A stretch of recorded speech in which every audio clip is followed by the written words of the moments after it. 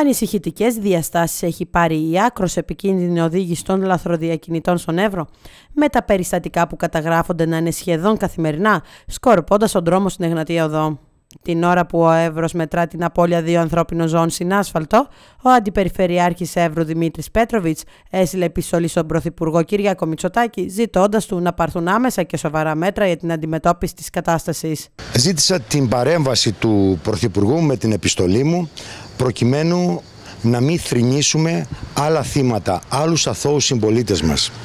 Δυστυχώς το φαινόμενο με την παράτυπη μετανάστευση έχει πάρει άλλες διαστάσεις εδώ στον Εύρο. Ήδη θρηνούμε δύο αθώους συμπατριώτες μας, οι οποίοι πραγματικά έπεσαν θύματα αδίστακτων διακινητών που κινούνταν στο αντίθετο ρεύμα κυκλοφορίας. Δυστυχώς έχουμε και εισόδους ε, των διακινητών με μεγάλες ταχύτητες, αναπτύσσοντας μεγάλες ταχύτητες τα οχήματά τους μέσα στον αστικό ιστό. Αυτό δεν αποκλείει το γεγονός να έχουμε και άλλα ατυχήματα και ενδεχομένως δυστυχήματα. Δεν το αντέχουμε. Πρέπει λοιπόν να πάρθουν όλα τα αναγκαία μέτρα. Γι' αυτό το λόγο και η επιστολή μου κοινοποιήθηκε στους Υπουργούς Προστασίας του Πολίτη και Μεταναστευτικής Πολιτικής. Είναι ανάγκη να πάρθουν αυτά τα μέτρα τα οποία είναι αναγκαία ούτως ώστε να αισθανόμαστε ασφαλείς. Η Ελλάδα σέβεται τους ανθρώπους που πέφτουν θύματα δουλεμπόρων όμως δεν μπορεί να μην φροντίσει για τις οικογένειες των θυμάτων που έχασαν τη ζωή τους εξαιτίας της οδήγησης των διακινητών τόνισε μεταξύ άλλων ο κύριος Πέτροβιτς. Η Ελλάδα σέβεται το διεθνές δίκαιο, ειδικά με τους δυστυχισμένους αυτούς ανθρώπους που πέφτουν θύματα εκμετάλλευσης από τους στιγνούς δουλεμπόρους. Αλλά συγχρόνως θα πρέπει να δούμε και τις οικογένειες των θυμάτων των άτυχων δύο συμπατριωτών μας που έπεσαν θύματα από την παράνομη κίνηση των αυτοκινήτων των διακινητών.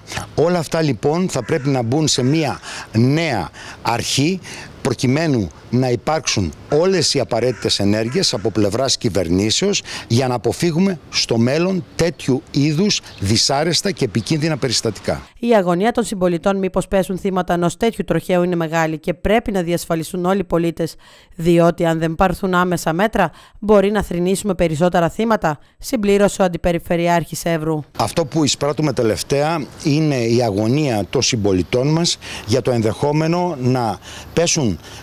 και εκείνοι θύματα ενός τέτοιου τροχαίου δυστυχήματος ή ατυχήματος εξαιτίας της κίνησης ε, ε, αυτοκινήτων που οδηγούν διακινητές. Μάλιστα προχθές είχαμε πάλι ένα περιστατικό στην περιοχή μας. Άρα φαίνεται ότι το φαινόμενο δεν αναστέλλεται.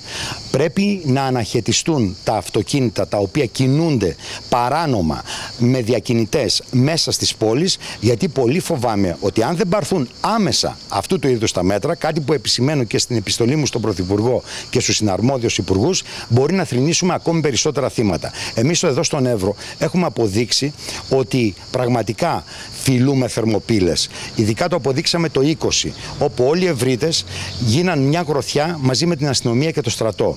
Άρα θα πρέπει να γίνει αντιληπτό ότι σε αυτές τις ευαίσθητες περιοχές πρέπει να ισχύουν και μέτρα που θα είναι προσαρμοσμένα στη μεγαλύτερη ασφάλεια των πολιτών.